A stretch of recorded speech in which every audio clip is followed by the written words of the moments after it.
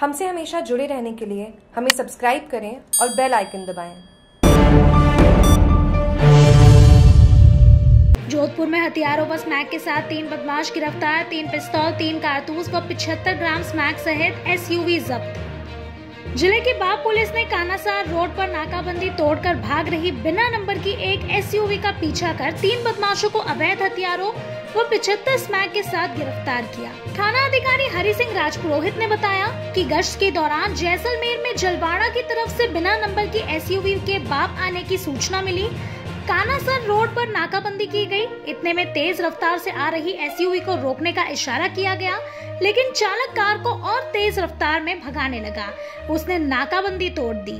Police ने SUV का पीछा किया और कुछ दूरी पर अफरोधक लगाकर एसयूवी को रोक लिया गया। कार में तीन युवकों से तीन लोडेड पिस्तौल तीन ज़िंदा कारतूस, दो मैगजीन और पिछहत्तर ग्राम स्मैक जब्त की गई आर्म्स एक्ट व एनडीपीएस एक्ट की धाराओं में मामला दर्ज कर जलुवाड़ा निवासी अनिल जालोड़ा निवासी प्रेम और लोहावट में मूल राज निवासी बुद्धराम विशोई को गिरफ़्तार किया गया। आरोपियों से अवैध हथियार व मादक पदार्थों के संबंध में जाँच की जा रही है। जागरूक टीवी के लिए जोधपुर से मुकेश शिमर की रिपोर्ट।